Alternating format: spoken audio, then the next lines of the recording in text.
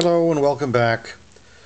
This time we're dealing with the board that failed inside the FX4CR and what I had to go through to replace it.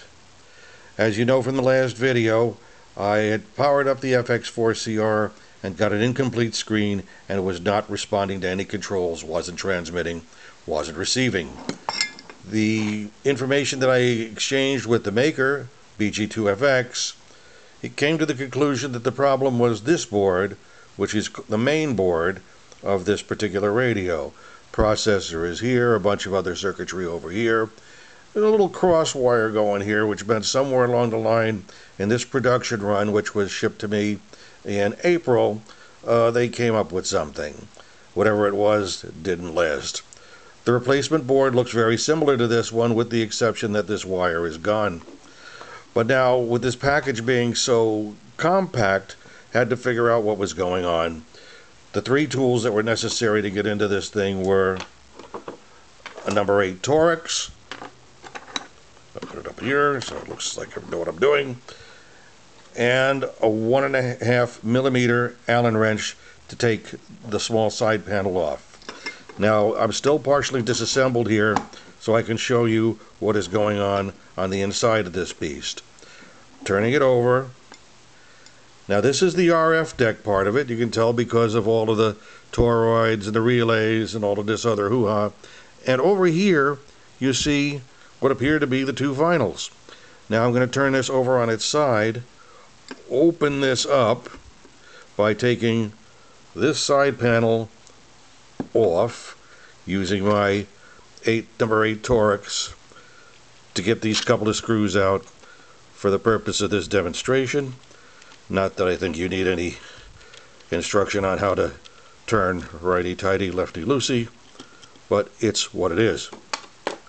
Now with that out, I can take this side panel off and separate this. Now, the RF deck is bolted to this metal frame, which is nicely machined out. I'm not going to totally disassemble it for right now. But the board that was changed out is the one with all these ribbon cables.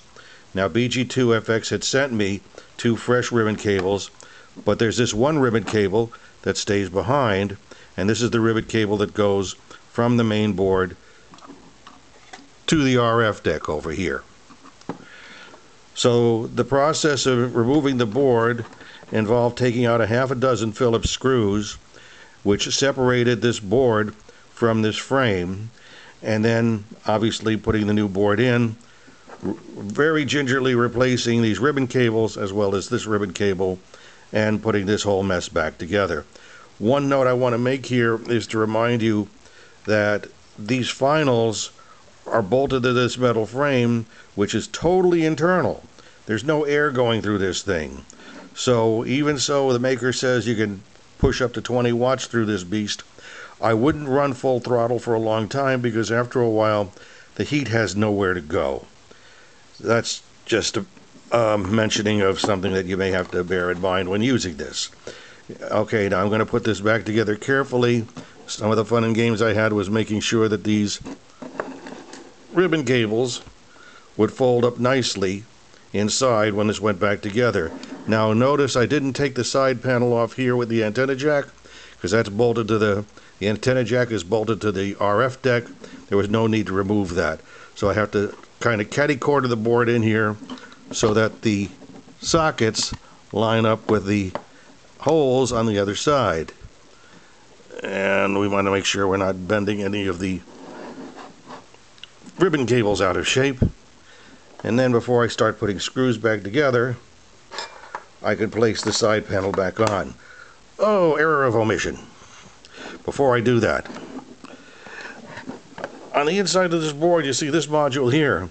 This is the Wi-Fi module, or the, the, the Bluetooth module, rather. And this is the plate that's going to go on top of it. When you put this plate on, this plastic part, which is open, has to match where the antenna is for the Wi-Fi. Because if you don't do that, the Wi-Fi won't work worth a damn. So, just bear that in mind when we put that together. Now I'm going to carefully cut this back in so that we're not gouging the ribbon cables. the holes fit into the side here, like that. We're going to come together here, like this. And now, this side plate is going to go onto here. And the screw that I took out, I'm going to put back in just such this, this thing holds together while I'm finishing up this video. Now, the whole thing was mostly trying to figure out what I had to take apart in order to get inside of this beast. Now, we're not going to power it up just yet because I want to put a few more screws in. But understand that uh, you kind of sort of got limited space inside. And again, remember that uh, the final transistors in this radio don't have a huge amount of heat sinking going on.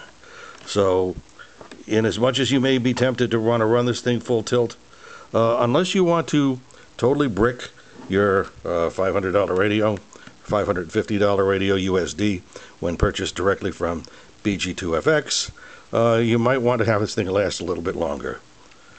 Okay. Bear with me while I do a couple more screws. I know I'm not one of the more adept YouTubers that fast forward through all this noise, uh, but I value your time as well.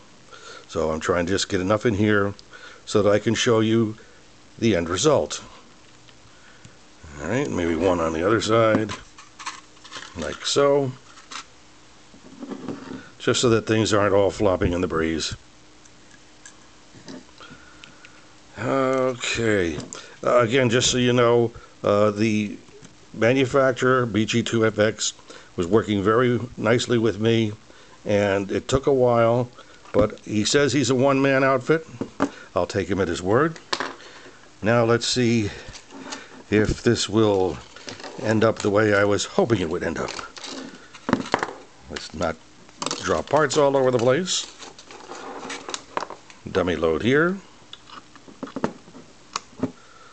Power, power plug over here. Turn on the electricity, which is always helpful. Invoke the electricity. And let's see if I make an idiot out of myself. There you go. Ladies and gentlemen, we have a full display and the machine is working. Thank you very much for watching the video. Appreciate your time. Any questions, feel free to pop an email to n2gop at yahoo.com. Take care, be well, and stay safe.